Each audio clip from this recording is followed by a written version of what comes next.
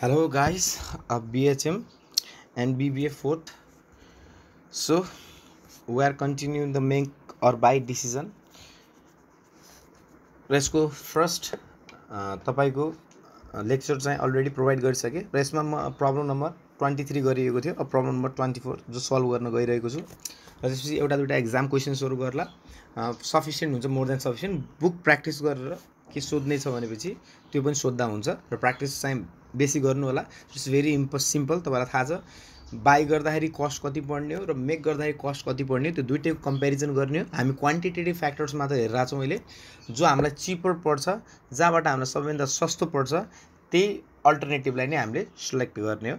So let start र problem number म यसमा गर्न गइरहेको छु। अघिको भिडियो अलिकति लामो भयो हुनाले यो चाहिँ टेन फिफ्टिन मिनट्समा हामी यो भिडियोलाई सकिहाल्छ problem number twenty four so यो स्क्रिनमा चाहिँ प्रब्लम नम्बर ट्वेन्टी फोर हाम्रो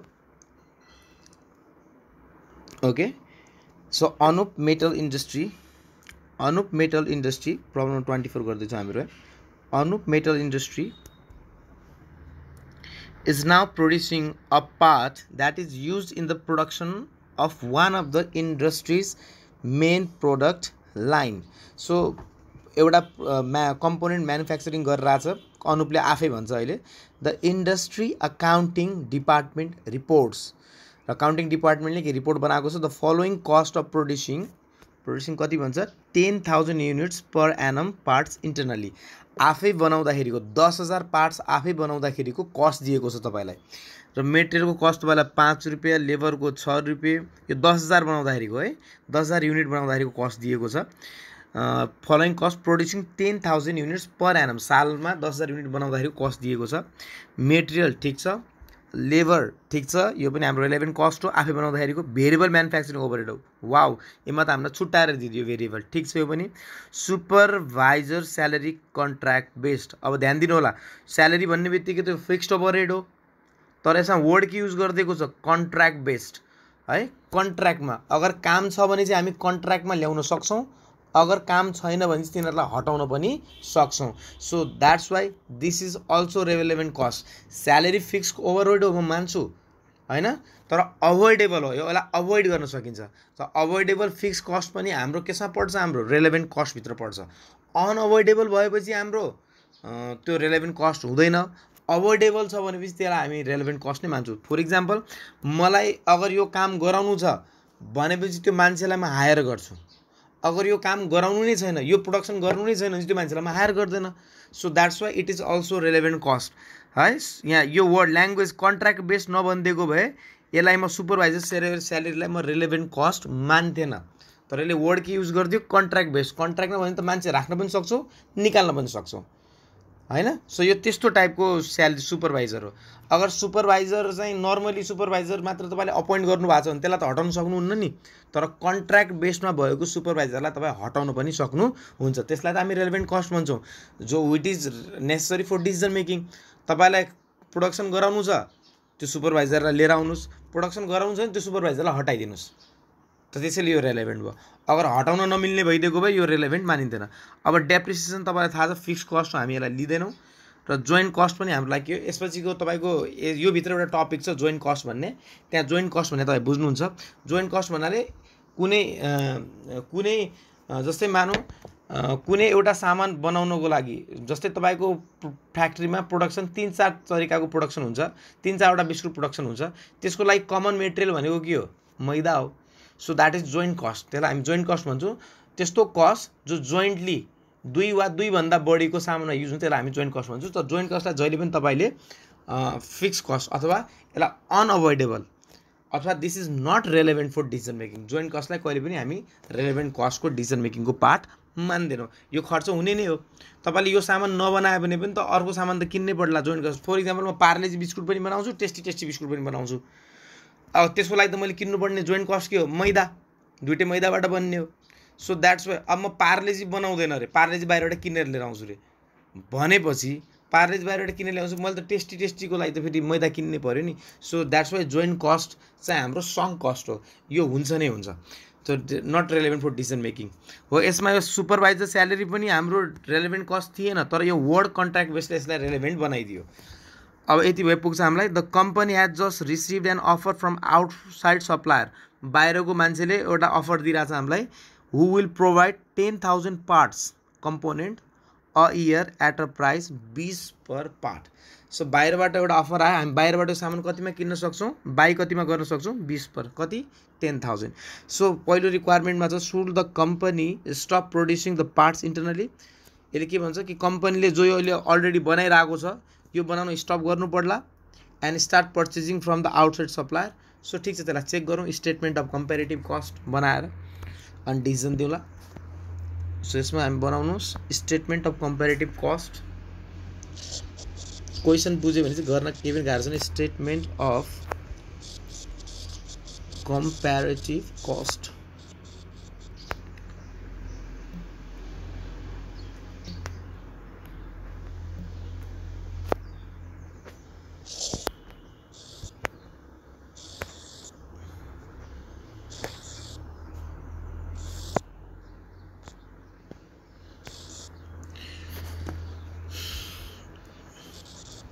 यसरी मेक अमाउन्ट लेख्दा पनि हुन्छ बाई पर्चेज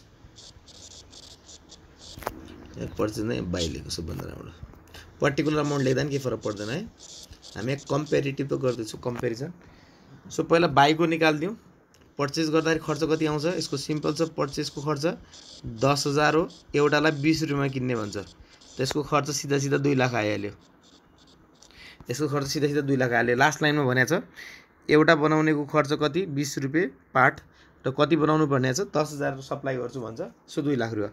अब बाँकी सबै खर्च हामीले केसको लिनु पऱ्यो? मेकको। त्यसको लागि हाम्रो फर्स्टमा चाहिँ यसको relevant cost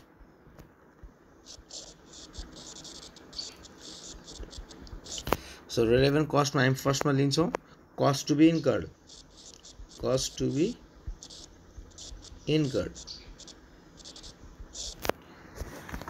cost be इन्कर्डमा material दिएको छ हामीलाई। मेटेरियलको खर्च सिधा सिधा दिएको छ दस हजार बनाउने। हामी सिधै सिधा लिउँ। यी पाँच दस हजार इन्टु पाँच गरेर कति आइरहेको छ पचास हजार। त सिधै दिइदिएको छ पचास हजार। त्यस्तै लेबरको लिनुहोस्। लेबरको दिएको छ साठी हजार। लेबर दिएको छ हाम्रो साठी हजार खर्च पर्छ अरे। त्यसै थर्डमा लिनुहोस्। भेरिएबल म्यानुफ्याक्चरिङ ओभरहेड कति छ यो? बिस हजार। भेरिएबल त डिसिजन मेकिङको पार्ट हो हाम्रो। भेरिएबल म्यानुफ्याक्चरिङ ओभरहेड यो छ हाम्रो बिस हजार। ठिक छ। त्यसपछि अगाडि बढ्नुहोस्। सुपरभाइजर स्यालेरी कन्ट्र्याक्ट बेस त सुपरभाइजर स्यालेरी पनि लिनु पऱ्यो हामीले। सुपरभाइजर स्यालेरी कन्ट्र्याक्ट सो यो नबनेको भए हामी लिन्थेनौँ। कन्ट्र्याक्ट भन्ने वर्ड नलागेको भए हामी लिन्थेनौँ। किन चाहिँ स्यालेरी फिक्स कस्ट हो। चालिस हजार। तर यो स्यालेरीवालालाई हटाउनु पनि सकिन्छ चाह्यो भनेपछि। सो यसमा हाम्रो cost to be benefit to be lost अगर यो बनाउनाले हामीलाई केही नोक्सान छ र अरू केही पनि नोक्सान छैन। So benefit to be lost यहाँ छैन। नभयो भने सो यसमा हामी एउटा एड गर्ने भनेको के हो? बेनिफिट टु बी लस्ट त छैन यसमा यो क्वेसनमा benefit to be lost zero so यसलाई नै हामी total cost मानिदिन्छौँ। So this is total cost यो पनि टोटल कस्ट अथवा टोटल मात्र लेखिनु हुन्छ। यो दुई लाख रुपियाँ आयो खर्च। यहाँ कति आइरहेको छ हेर्नुहोस्। साठी पछि पचास एक दस एकतिस एक सत्तरी। त बनाउँदाखेरिको खर्च कति बनाइरहेछ? एक लाख सत्तरी हजार। र किन्दाखेरिको खर्च कति आइरहेछ? दुई लाख। बनाउँदाखेरिको खर्च कति बनाएछ एक सत्तरी सो डिसिजन दिनुहोस्। इट्स बेटर यस्तै इट्स बेटर त्यो अगाडिको लाइनमा जसै पनि लेख्न सक्छौँ। अथवा manufacture produce produce the parts component थियो produce the parts internally. Because there is cost saving of rupees एउटै ल्याङ्ग्वेज नलेख्ने कस्ट सेभिङ कति तिस हज़ार रुपियाँ कस्ट सेभिङ छ दुई लाखबाट एक लाख सत्तरी हज़ार घटाइदिनुहोस् सो आफै बनाउनुहोस् internally because there is cost saving of rupees thirty thousand so अब it's better to manufacture inside जे लेख्नुहुन्छ रिजन दिइदिनुहोस् र कति रुपियाँ बचाउन सक्नुहुन्छ त्यसलाई लेखिदिनुहोस्। अब यसको बी पार्टको रिक्वायरमेन्टमा फेरि के सोध्छ हेर्नुहोस्। प्रत्येक पार्ट आफैमा इन्डिपेन्डेन्ट हुन्छ। Would the decision in above change in case equipment can be sold at their book value यहाँ एउटा इक्विपमेन्ट छ। त्यो इक्विपमेन्टको डेप्रिसिएसन कति छ? पचास हजार। मतलब डेप्रिसिएसन नकाट्ने हो भनेपछि त तपाईँको यसको बुक भ्यालु त डेप्रिसिएसनलाई नै हामी के मानिदिन्छौँ? बुक भ्यालु सो यो इक्विपमेन्टलाई पचास हजारमा बेच्न सकेको बुक भ्यालु यति नै हो जति यसले देखाएको छ। फेरि हेर्नुहोस् त would the decision if the equipment can be sold at book value त यो डेप्रिसिएसन अफ इक्विपमेन्ट अगर यो डेप्रिसिएसन नकाट्यो भने त यो एसेटको भ्यालु कति नै छ? पचास हजार। डेप्रिसिएसन काटेपछि पो त्यो लस हुन्छ त। डेप्रिसिएसन काट्नुभन्दा अगाडि त त्यसको बुक भ्यालु हो। अब यो सामान हामीले थोरै बनाएको छौँ। हामी यो सामान बनाउने वा फेरि किन्ने त्यो सोचिरहेछौँ यो सामान बनाउने या फेरि किन्ने त्यो सोचिरहेछौँ यसको मतलब अहिलेसम्म डेप्रिसिएसनको खर्च चार्ज भएको छैन। अगर तपाईँले बनाउने निर्णय लिनुभयो अगर तपाईँले बनाउने निर्णय लिनुभयो भने चाहिँ यो डेप्रिसिएसनको खर्च हुन्छ। अगर नबनाउने निर्णय भयो भनेपछि चाहिँ बाहिरबाट किनेर ल्याउने निर्णय भयो भने चाहिँ यो तपाईँ बेच्न सक्नुहुन्छ। सो द्याट्स वाइ सो यसमा यही पार्ट मात्र चेन्ज भयो बाँकी सब सेम छ। बी पार्टमा फेरि बनाउनुहोस् स्टेटमेन्ट अफ कम्पेरिटिभ कस्ट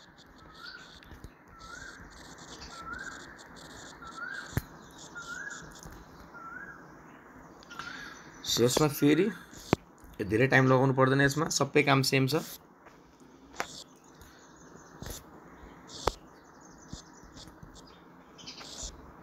यता मेक यता बाई अमाउन्ट अमाउन्ट र तपाईँलाई थाहा छ पर्चेस गर्ने खर्च छ? माथि हामीले निकालिसक्यौँ दुई लाख रुपियाँ। बार बार निकाल्नुपर्छ र? यो त दुई लाख रुपियाँकै खर्च हो। पर्चेस गर्ने खर्च हाम्रो कति छ? दुई लाख रुपियाँ। नो चेन्ज अब यसमा रेलेभेन्ट कस्टमा थोडा चेन्ज भयो।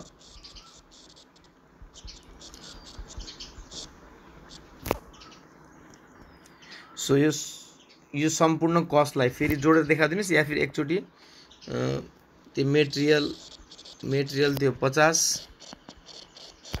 लेबर थियो साठी।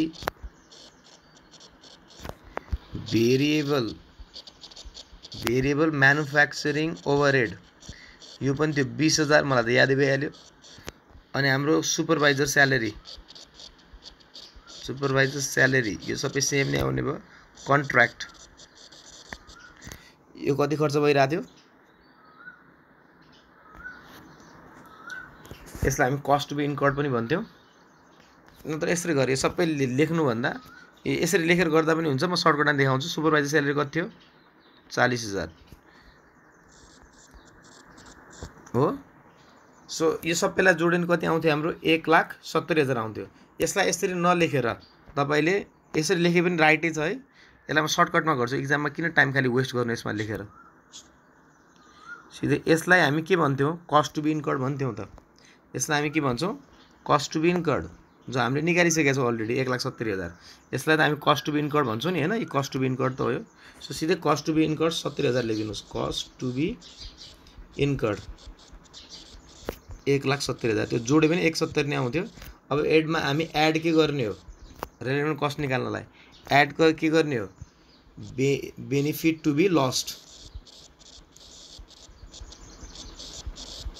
अब ध्यान दिएर हेर्नु बेनिफिट टु बी लस्ट अगर तपाईँले यो दस हजार कम्पोनेन्ट नबनाएको भए अगर यो दस हजार कम्पोनेन्ट नबनाएको भए तपाईँ त्यो मसिन बेच्न सक्नुहुन्थ्यो? मजाले। त्यही त भन्थ्यो। क्वेसनमा हेर्नुहोस्। अगर यो would the decision which change in in case equipment can be sold in their book value अगर तपाईँ बनाउनुहुन्छ भनेपछि अगर तपाईँ बनाउनुहुन्छ भनेपछि यो पचास हजारको डेप्रिसिएसन त खर्च लाग्ने हो।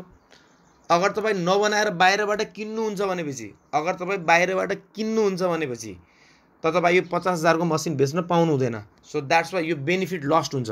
अगर तपाईँले किन्नुभयो दुई लाखमा मानु यो मेटेरियल किन्नुभयो दुई लाखमा मेटेरियल किन्यो भने तपाईँ मसिन बेच्न सक्नुहुन्छ। मसिन बेचेपछि कति रुपियाँ आइरहेको छ तपाईँलाई? पचास हजार रुपियाँ आइरहेको छ नि। So that is your benefit to be lost तपाईँले बनाउनाले गर्दा तपाईँले यो मसिन बेच्न पाउनु भएन। त यो नोक्सान भयो। तपाईँले आफै बनाउने कारणले गर्दा तपाईँले आफूले बनाउने निर्णय लिनुभयो भनेपछि तपाईँ यो मसिन बेच्न पाउनु हुँदैन अगर नबनाउने निर्णय लिएको भए यो मसिन बेच्न पाउनुहुन्थ्यो पचास रुपियाँ घर पचास हजार रुपियाँ घरमा आउँथ्यो so that's why it is benefit to be lost अब निकाल्नुहोस् यसको टोटल यसको खर्च आयो दुई लाख बिस हजार।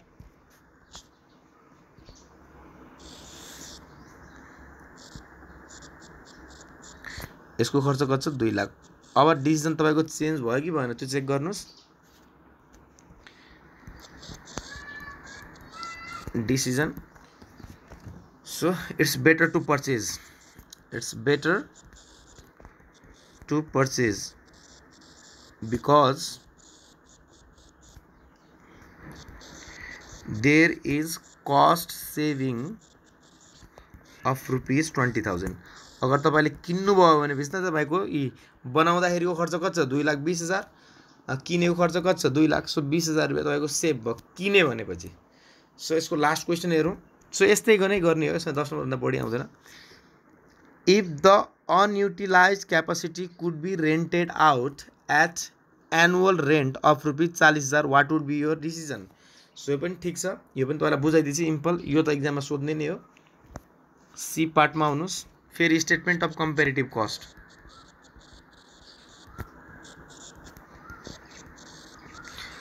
अब हाम्रो माथिको बी नम्बरसँग केही पनि लेनदेन छैन है। सो प्रत्येक क्वेसन आफैमा इन्डिपेन्डेन्ट हो। अब तपाईँ फेरि बी नम्बरको क्वेसनलाई पनि यसमा मिक्स गरिदिनु होला यो बी नम्बरकोलाई अब यसमा यो मसिन बेच्न सकिन्छ भन्ने कुरा छोडिदिनुहोस्। मसिन बेच्न सकिन्छ भन्ने कुरा छोडिदिनुहोस्। त्यो मसिन अब बेच्न सकिँदैन। प्रत्येक क्वेसन आफमा इन्डिपेन्डेन्ट हो। यो सीलाई बी पार्टसँग मिक्स नगर्नु होला। फेरि त्यही statement of comparative cost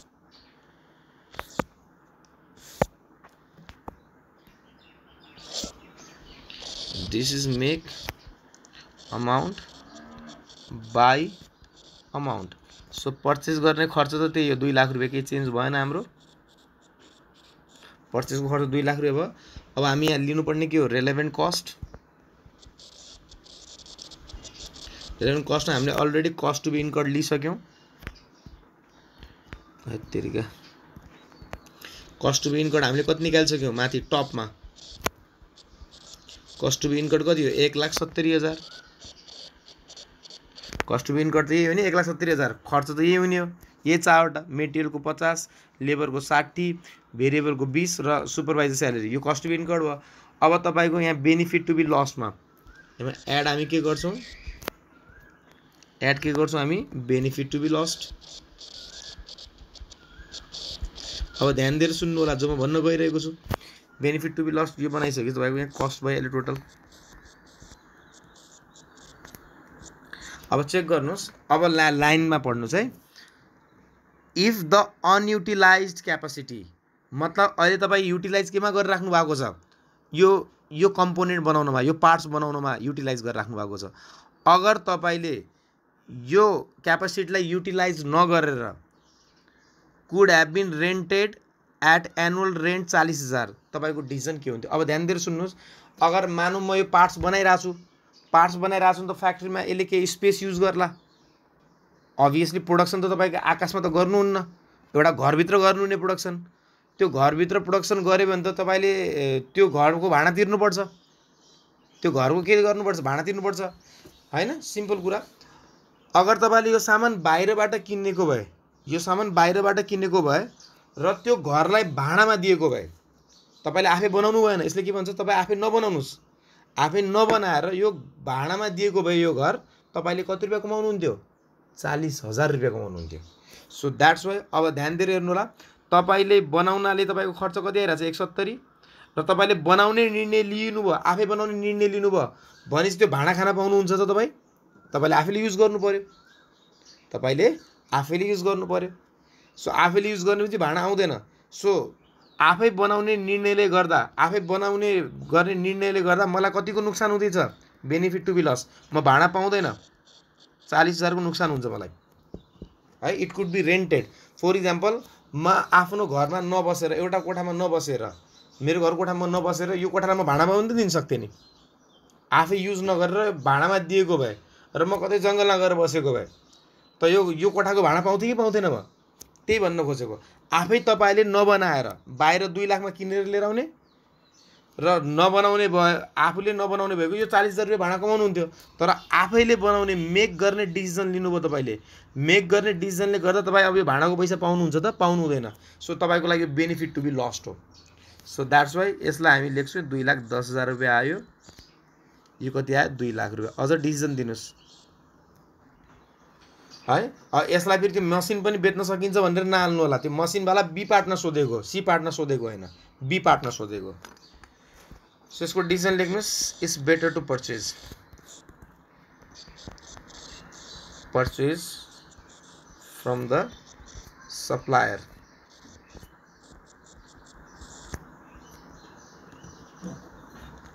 purchase from the supplier because there is cost saving of rupees ten thousand बाहिरबाट किन्यो भने चाहिँ तपाईँको खर्च कति आइरहेछ? दुई लाख। तपाईँले आफै बनाउनु भयो भने चाहिँ खर्च कति आइरहेछ? दुई लाख दस हजार। So it's better to purchase so purchase the purchase from the supplier purchase the parts from the supplier because there is cost saving of rupees ten thousand. So यति क्वेसन गरेपछि मलाई लाग्छ योभन्दा बढी क्वेसन गर्नु पर्दैन। इनकेस गर्नु पऱ्यो भने मलाई पुरानो क्वेसन सरी एक्जामिनेसन क्वेसन्सहरू पठाइदिनु होला। So decision making is very simple बनाउने या फिर किन्ने। त्यही डिसिजन हाम्रो। Okay thank you